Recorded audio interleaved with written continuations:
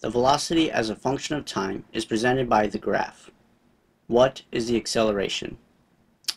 To answer this question, you have to remember back from algebra that the standard equation of a line is y equals mx plus b, where y is your dependent variable, m is the slope, x is the variable that you have, and b is the y intercept. So now for this question we have an equate a line of the equation for v as a function of time. So the kinematic equation that we would use to describe that would be v equals v naught plus at.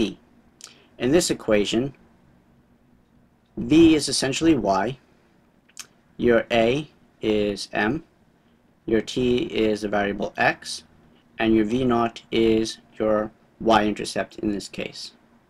So from looking at these uh, comparisons, we would see that our slope of our velocity graph is in fact our acceleration. So if we calculate the slope of this line here, we would find the acceleration of our object. So now we're going to pick, say, two points here. Say we're going to pick the initial point here and say this point here.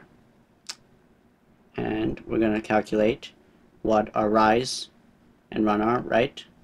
Your slope, m, is rise over run, which is mm-hmm. also the same as delta v over delta t. So our acceleration, which is equal to m, is equal to our change in velocity for this time interval here.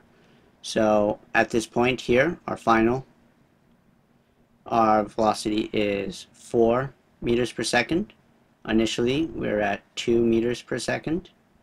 And the total time for this trip is 10 seconds. So if we carry this out, we would have 2 meters per second over 10 seconds, which would give us an acceleration of 0.2 meters per second squared.